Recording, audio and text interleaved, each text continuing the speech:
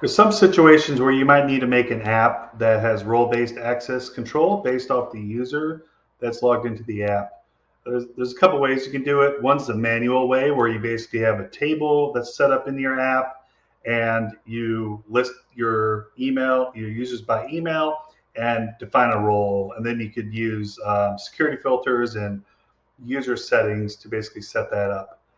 Uh, the more sustainable way, and I, I guess uh, less uh, less manual way to do that would be using uh, domain authentication in AppSheet to set up user roles in the app and leverage either Active Directory, Google Domains, Okta, or any authentication service that uses OpenID Connect.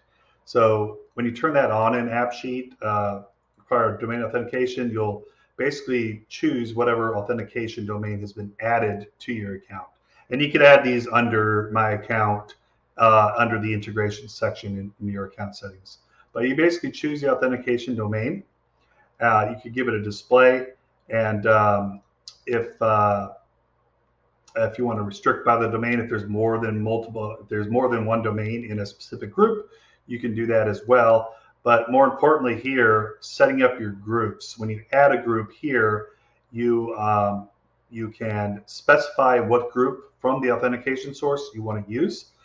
And keep in mind, you have to have the ability to you know read those groups from whatever account you, you add. And um, for user role, if you click on it, it's not the most straightforward. You only see two user roles, user and admin. However, you can come up with your own user role as well. So maybe you want to have a manager in there or something like that. You can just type that in here and then choose what app version uh, they can use as well, and then hit save. So that, uh, and you could add multiple groups as well. So you can create as many user roles as you want in your uh, application.